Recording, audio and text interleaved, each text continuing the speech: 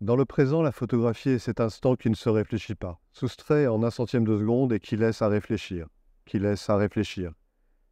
Elle n'a lieu qu'une seule fois et n'aurait jamais plus lieu, et pourtant elle se reproduit à l'infini. Liée à son souvenir, elle parcourt immobile le temps. Elle nous accompagne et nous survivra. Elle touchera les personnes concernées ainsi que des étrangers. Désintéressée, elle se partage par intérêt. Comme une inconnue rencontrée par hasard, elle nourrira la fantaisie des uns, la curiosité ou le mépris de certains.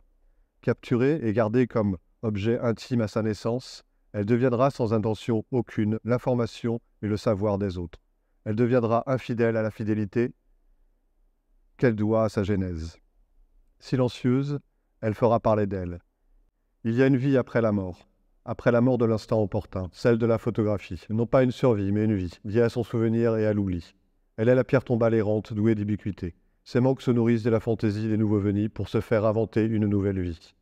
Au plus beau et au plus lointain de ces nouvelles vies, il ne restera rien de l'intention du photographe. La photographie n'appartient qu'à celui qui la regarde, car il lui donne, encore une fois, une nouvelle vie.